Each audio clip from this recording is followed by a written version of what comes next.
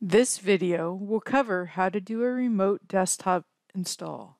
Sage defines a remote desktop server install where you have one server that is holding both the Sage BusinessWorks application and is being used as a remote desktop server for any remote connections. We are going to begin at the remote desktop server. Now that the download is complete, it's time to run the Sage BusinessWorks files that were downloaded. Right click on the Windows Start menu, choose File Explorer, choose Downloads, and select Sage BusinessWorks. If prompted, select Yes to the User Account Control message. Accept the default location for the extraction of the Sage BusinessWorks install files and click Setup.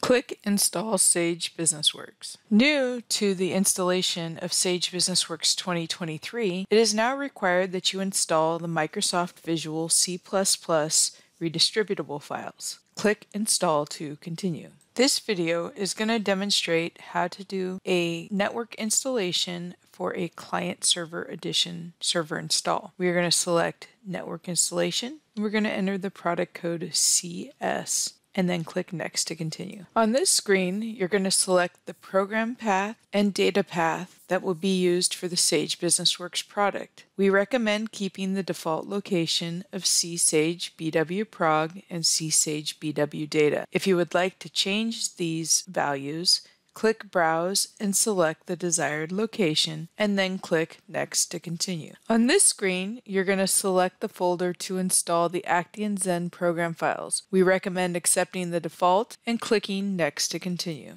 Accept the default location for the Sage BusinessWorks program folder and click Next to continue. Confirm that the installation type says client server, the program path and data path are correct, and the client data path matches the desired location, and click Next to continue. The installation will now be installing the Actian Zen database engine. This process may appear to not be progressing, but it will complete now we're installing the Sage BusinessWorks program files. And now we're the installation of Sage BusinessWorks is now complete on the remote desktop server. The next step would be to log in to any remote sessions and run the BW profile under each user's profile. Each additional user after the administrator user runs the client setup only needs to perform the BW profile install. In this case, we're logged into a session as a user that does not have admin rights, and we are again going to go to File Explorer, and then we're going to browse to the application server, go to the Sage folder, the BW Prog folder, and then we're going to run BW Profile. When BW Profile displays, click Next to continue, click Next to confirm the program folder, verify that the installation type says Profile and that the program and data path are correct, and then click Next to continue.